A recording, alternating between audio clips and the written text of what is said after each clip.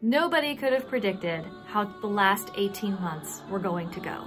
But with music about loneliness and isolation and the big questions asked in our national anthem, choral ensemble Conspirare came pretty close with their album, The Singing Guitar. I'm Colleen Phelps, and today on Behind the Playlist, a few words from Conspirare's artistic director, Craig Hella Johnson. Hi, Craig. Hey there. How are you, Colleen? Great to see you. Good to see you. So, the singing guitar, this is not your ordinary album. Why guitar? Right. Well, you know, it has kind of a long history. I won't go into the whole of it, but I mean, the, the simple part of the history is just that there was a time when I'd gone to a woman, Kathy Panoff, who was uh, in charge of Texas Performing Arts, a big presenting series in Austin at the University of Texas. There, we were going to collaborate on something. We wanted to kind of be a big project. And I had pitched her the idea of something um, with antiphonal uh, choirs of guitar, you know. I, and initially I thought, you know, kind of playing a, with a modern version of sort of something with choir singers and guitars, uh, like we were in St. Mark's in Venice, but a, a new kind of choral antiphonal play.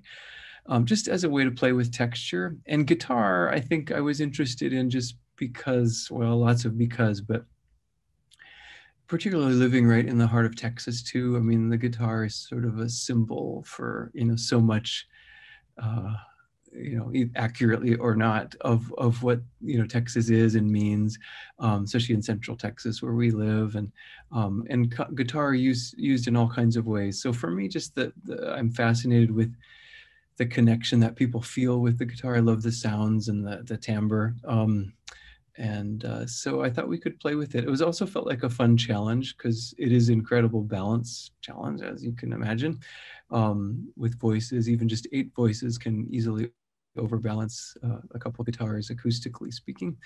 Um, so anyway, lots of fun reasons, but that's where it started. And then it, it morphed once we got to the time of actually talking to Nico about this commission. Uh, it ended up being three guitar quartets, which felt choir enough to me to you know, to play with, and um, yeah, he was really intrigued by the idea. And then he went off to search for some texts, and the rest is history, I guess. Can you go a little more into the logistics of having that many guitars with a choir? Because I think of instruments overbalancing voices most often. Yeah, certainly. In almost all other cases, um, that's true. But with guitars, um, when they're just acoustic, of course, and so most of you know most guitarists and classical guitarists in this kind of setting will amplify too. So, yeah, um, it was it was enormously um, kind of appealing experience all the way through, a happy experience, and also challenging. You know, uh, we had fantastic players. Obviously, the Los Angeles Guitar Quartet is you know top of the row world class players. Um, you know, frankly, as are members of the Austin Quartet and Texas Guitar Quartet too. Um, but the Los Angeles Quartet is so well known, and you know, almost to a person when we first started rehearsing this, the guitarists would come up kind of one by one with an initial sort of um, oh, kind of an almost an apology like, hey, we don't work with conductors often, um, you know, meaning we don't look up at all. you know, we're, we're looking down here. And so, uh, you know, and they couldn't have been nicer about it. And, and they said, but we're going to, we're going to be, you know, looking for you and looking for your beat. And, uh, but there is that aspect of sort of when the downbeat occurs because the guitar is so fast speaking. It speaks like boom and the voice kind of finding that onset is not quite as fast. And so there's you know um, uh, i often say you know initially just as we was we had to sort of struggle a little bit at first to find the bottom of the beat together it was like these beautiful little golden toothpicks kind of falling on the floor, below, you know, um, kind of having to chase them. And um, but everyone was really re responsive, and we found our way uh, in the end to some really satisfying experiences.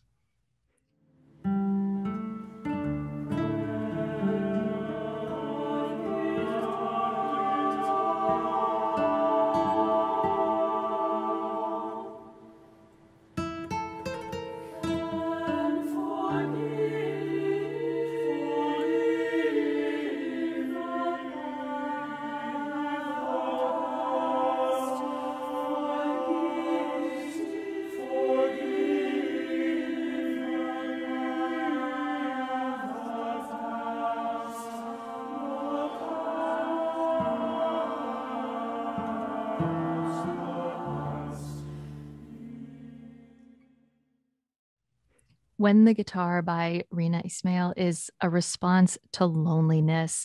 Nico Muhly's How Little You Are is about the loneliness of pioneer life and missing your loved ones.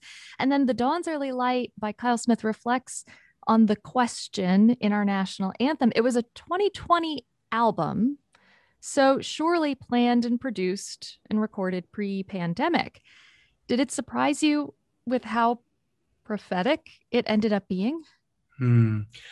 You know, um, it's interesting. It, it, the timing was fascinating.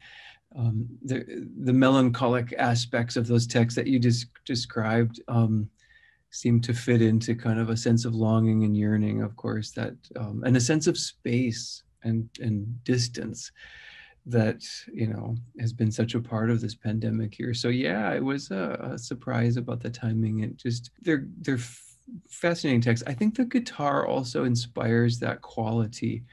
You know, I mean, we think about those sort of folk song, folk song set, settings, which are actually like laments that that speak of the heart's longing for for, for one far away, or you know, you could think of uh, easily ten different examples of, of uh, things where the guitar is the the voice of the heart, really, in a way.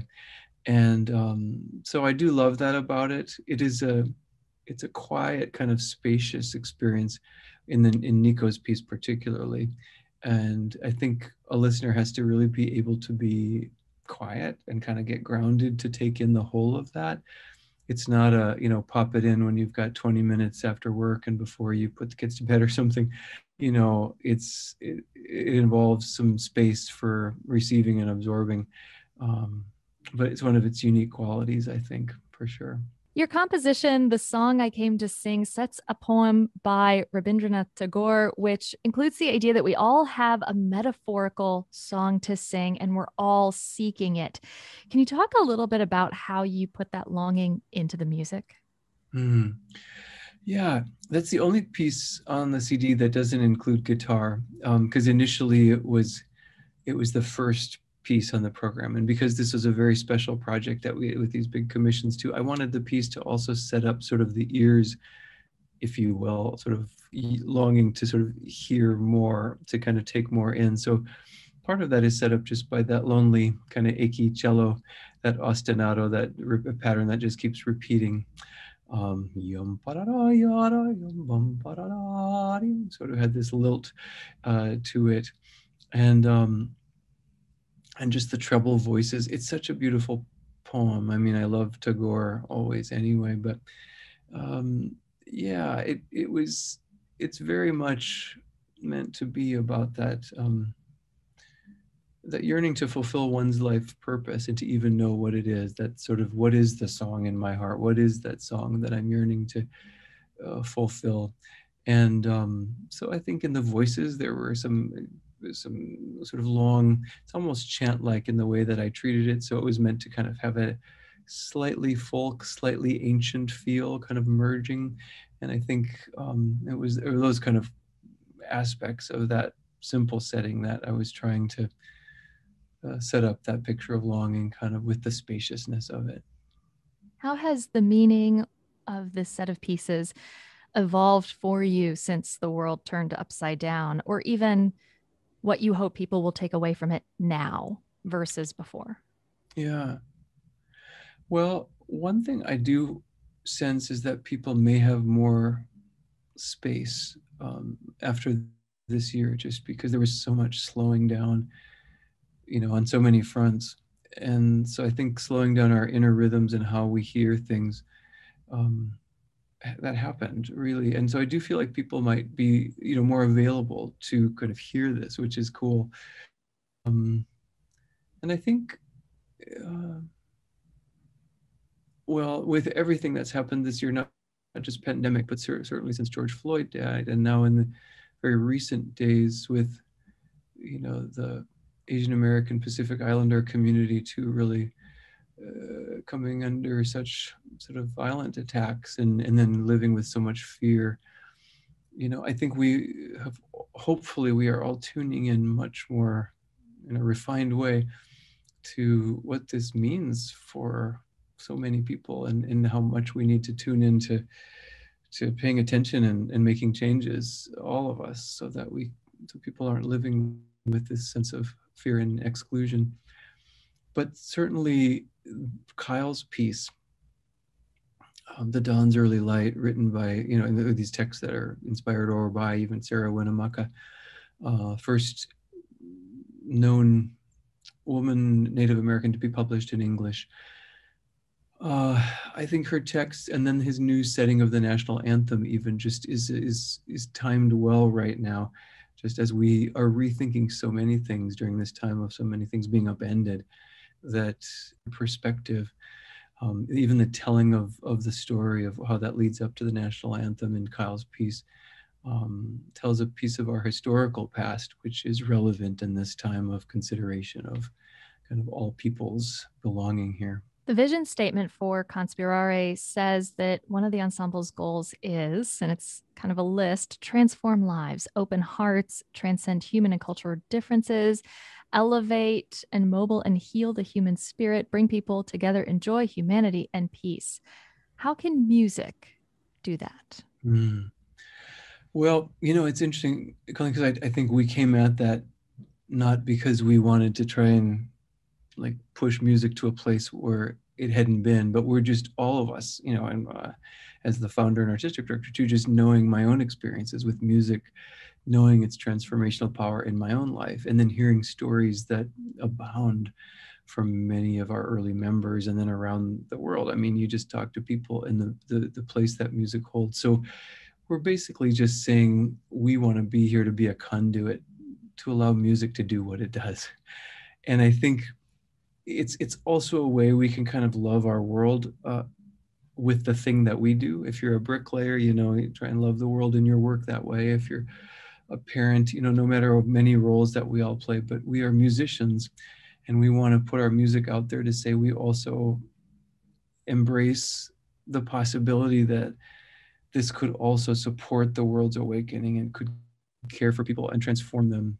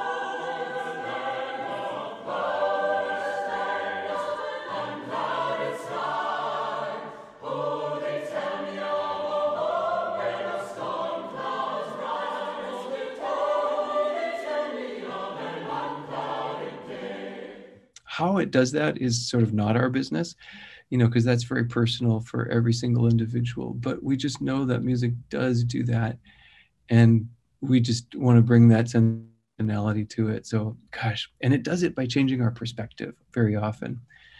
You know um we could probably talk for hours and hours just referencing say a piece of music like this or like any example um that has the possibility where two speeches or a debate or a, a newspaper headline um, might not have impact to change, and yet a piece of music which can affect our physical experience, it can it can trigger memories, it can provoke uh, shifts of perspective like nothing else. Um, and it's that shift of perspective from which then we make changes and shifts in our lives, you know. And so it's kind of an amazing thing we get to traffic in, isn't it? Throughout your catalog, Conspirare seems to have found a middle ground between recording and performing newer and I would say old ish pieces of music. What do you prioritize when you decide what's next? Yeah. Well, it's such a great question. I wish there were a simple answer, but um, we do kind of straddle that line because we're totally devoted to new music. And so that's kind of where I feel like um, a big part of our heart is. And yet, almost equally, there's a foot in uh, what we might call more traditional repertoire or in more known repertoire. I think the thing we love, and I personally love too, is sort of being a shuttle diplomat between both. Not that they're sort of two separate exact you know groups because they merge, uh, and it's part of a procession. But I think this this whole notion of uh, you know, it, you've probably met people too, but I've met many people who are just dyed in the wool. I'm a Baroque listener. I don't listen to anything else, or I only like new music, and that's and you know somehow to me that was not my path and didn't feel quite satisfying. I wanted to sort of dance across the spectrum, and sometimes I joke with our with our singers that you know part of our recording work is is even selfish in a sense of you know when we're all in our senior apartments or assisted living or nursing homes or whatever i want to have a really great broad cd collection you know made with musicians and friends whom i love and that we can look back and say we experienced all that and now let's just hear it and receive it. And in a way that's how i think about the offering to the world. We don't do anything sort of very much in sort of what i would say an academic way to you know um, it's much more sort of feeling into what we feel called to do next what's the next project. Um, and there's always a combination of just music that simply inspires us combined with where are we in the world you know because what we do is never apart from the world. The overwhelming majority of the world's choral singers have taken about a year off speaking on a fairly concrete level pretty practically what are some things you would suggest individual singers do to prepare their voices to come back to choral singing yeah, good. Practical. Sing, sing, sing. You know, it just like use that muscle, right? Um, so I do, and we've been talking to some of our singers too, just like get singing again and find a way to kind of allow it to be a regular practice whilst, you know, you're still not singing. Cause it's something, you know, because we'll do six hour rehearsals. Um, I mean, three, two, three hour rehearsals on a day and then maybe even a little outreach thing in the it's, it's that's a big sing and then if you do it four days in a row five days in a row it is as you know per your question singing and i also think you know there's a mental there's a practical aspect of just getting back in the game mentally um, to really you know re-envisioning remembering who who they are how, what they are built for what they're purposed for what their beautiful gifts are meant to be used in what ways. So um, but I do think, um, you know, and for, for me, if someone, if we're going to walk in the office and say, Let, you know, let's work with, I would say anything that supports kind of finding that the evenness from the top to the bottom of the register again, you know, just work so that, and, and the breath is ultimately the teacher, right? As always. So the breath, you, everybody carries in their own great master class with that breath, master class teacher. Uh, and the breath just allows one to say, how do I work through all parts of the voice with the breath. Uh, uh, what kinds of exercises are are useful for that individual singer to be going up and down in the register and really kind of rebuilding the strength. Because mostly, I think it's a matter of endurance. Because what I do find among singers that I've been talking with is um, that there's actually a beauty and a luster to the voices right now that I'm hearing because they've been they've been able to rest. So, you know, they're they're good for that first 20 minutes, 30 minutes, and then I just know the endurance kind of wears down a little bit. Further, what would you recommend a choir director plan to focus on to do a healthy return? I mean, the, my very first thought going to about that is to to remember what these human beings have just been through and even what they've been through that they may not even know they've been through because there's there are so many emotional layers of of kind of weight and burden right now that this has been a psych, kind of psychically very burdensome time. And many people are very aware of that and others are sort of not even aware. So just, just remembering the human beings you're dealing with welcoming them back in you know having you know trying to answer this very practical question you're saying being very intentional not just you know going back to how it was or let's go back to normal. That phrase doesn't mean a lot to me. Uh, i don't think we're going to go back to the old normal. I think we're going to we're we all need to be kind of humbled by this and say or i'll just say that, that i have been very humbled by this to say i i need to ask really freshly like the first rehearsal the first concert series um, because it's both for singers and for audiences alike people are nervous to sit next to each other, you know, shoulder to shoulder again. And, uh, but I do think, um, and I think it's going to be for uh, different for every individual conductor and choir, but it seems to me that some mix of, you know, some things that feel like home in, in the voice and in the body, repertoire wise, and then some things that really tap into the time. Um, and then other than that, it's just get get back singing, start using the muscle again, start using the ear again, you know, refresh. I think it's going to be fascinating. You know, we I don't quite know when that time is quite yet, and I don't think many do exactly. I mean, we're all kind of thinking fall is it, but you know, well, well, we'll see. So you sort of touched on this a little bit, but the choral community is probably going to rebuild itself in the next year or so. What would you like to see evolve? You said you don't want us to come back exactly the same as we were before. What would you like to see evolve during this reset in the world of choral music? We have to reestablish, you know, so those of us who have kind of grown up in musical training, you know, reference the canon at times and you know, and I had a wonderfully thoughtful friend who's saying, What exactly is the canon anyway? I mean, it was a really honest question when we talk about music. But I think, you know, this this repertoire that has been sort of traditionally thought of as the tried and true and that which will endure and you know has endured the test of time and i think we're all needing to really question what that even means.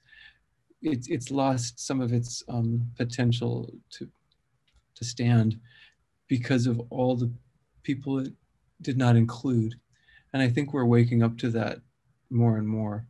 Um, and so I, I mean that's one thing that's interesting to me is could we could we refresh you know we're not needing to throw things out that are you know wonderful pieces of music and that we which we cherish and love and admire.